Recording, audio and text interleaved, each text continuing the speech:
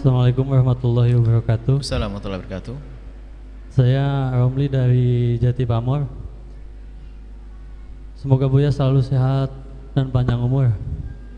Mau bertanya Buya, Amin, amin ya ketika saya kata Buya tadi Isya berjamaah dan subuh berjamaah. Eh, gimana kalau adan sendiri, sholat sendiri, jadi adan sampai sholat itu nggak ada yang nemenin walaupun di musola gimana niatnya sama hukumnya bagaimana Bu ya terima Sol- kasih Sholat sendiri. iya maksudnya jadi eh, saya berangkat ke musola adan sendiri komat sendiri Masya Allah hebat. dan Borongan. sholat sendiri gitu gimana niatnya sama gimana hukumnya Bu ya terima Baik. kasih assalamualaikum warahmatullahi wabarakatuh Waalaikumsalam warahmatullahi wabarakatuh. Assalamualaikum warahmatullahi wabarakatuh. Adzan sendiri, komat sendiri sampai sholat sendiri. Nah, kalau memang anda orang yang memang rindu untuk menghidupkan sholat berjamaah di musola tersebut, anda sudah mendapatkan pahala istimewa. Tapi kalau karena malas ada sholat jamaah anda nggak mau, anda nggak dapatkan pahala.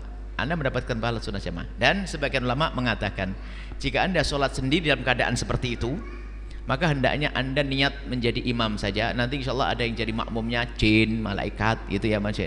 Maksudnya niat berjamaah, karena barangkali nanti ada orang yang ngikut. Ini sebagian menghim- menghimbau seperti itu untuk meridukan sholat ber, berjamaah. Yang nggak benar di situ ada sholat jamaah, dia sholat sendiri niat jadi imam, gila dia. Ah, di situ ada jamaah dia sholat sendiri imaman lillahi taala. Sama siapa? Ya, ya dah. Jadi, anda sudah rindu luar biasa, bagus. Kemudian nanti ini adalah ilmu sholat berjamaah. Jika suatu ketika mungkin ada yang sudah sholat tidak berjamaah. Jika suatu ketika anda sholat tidak berjamaah, anda disunnahkan untuk mengulang dengan berjamaah. Ya ada, mengulang. Misalnya tadi. Dan juga bagi siapa pun yang sudah sholat berjamaah, menemukan istrinya atau saudaranya belum sholat berjamaah maka disunnahkan untuk menemaninya misalnya anda sholat berjamaah assalamualaikum selesai. Ada satu orang datang sendirian kasihan. Maka ayo saya temani karena ini pernah terjadi pada zaman Nabi ada seorang laki-laki datang sudah selesai sholat berjamaah. Nabi melihat orang itu niat berjamaah tapi sudah habis sholat jamaahnya Nabi menawarkan man saya tasaddaq bihadar rajul fal yusallim ma'ah.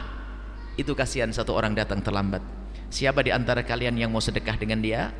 Silahkan sholat dengan dia. Maka ini yang dikukuhkan para ulama dianjurkan kita menolong orang yang belum berjamaah untuk bisa sholat ber berjamaah. Maka nanti temani ada yang sholat berjamaah khususnya di malam semacam ini. Dan setiap saat tentunya bukan di malam di Syaban saja. Allah alam